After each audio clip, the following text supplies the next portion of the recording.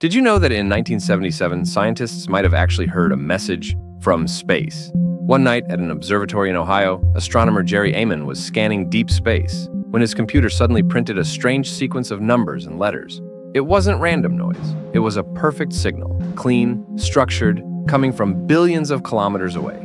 It lasted exactly 72 seconds. No repeats, no echoes, just one mysterious transmission. Then silence. Jerry stared at the data in disbelief. He grabbed a red pen, circled the sequence, and wrote one word next to it wow. That's what scientists still call it today the wow signal. For decades, researchers tried to find it again. They pointed telescopes in every direction. Nothing. No satellites matched, no stars lined up. It came from an empty patch of sky. Some say it was aliens reaching out.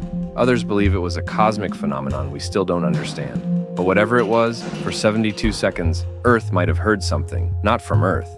And if you love real mysteries the world still can't explain, subscribe and help us uncover the truth, one story at a time.